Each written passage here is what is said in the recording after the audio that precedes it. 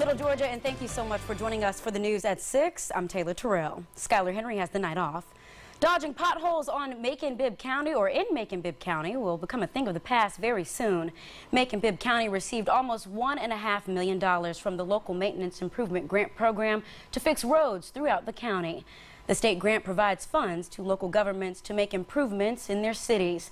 Some areas being repaired include James Street, Monroe Street, Canterbury Road, and Bauman Road.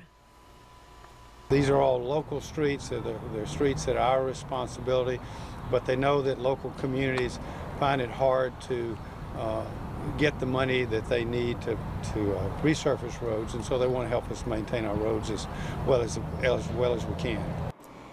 The Macon-Bibb County Commission approved the decision for Mayor Robert Reichert to make an agreement with Womack Paving Company to fix roads throughout the county.